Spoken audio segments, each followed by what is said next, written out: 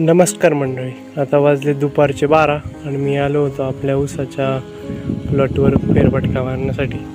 जर तुम्ही पाहिलं तर आपण ऊसामध्ये देखील आंतरपीक घेऊ शकतो.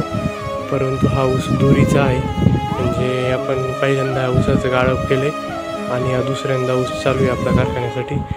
आपण याला आज पोटॅशियम नायट्रेट आहे जेणेकरून आपल्या मकाची कंच आहे ज्यात आपल्या मक्याला कंच आली त्या कंसांची फुगवण ही उत्कृष्टरित्या होण्यासाठी आपण देखील अत्याधुनिक तंत्रज्ञान आणि पेस्टिसाईडचा वापर करून मकाचं उत्पादन वाढवण्यासाठी आपण या प्लॉटला पूर्णपणे आज औषध सोडतोय.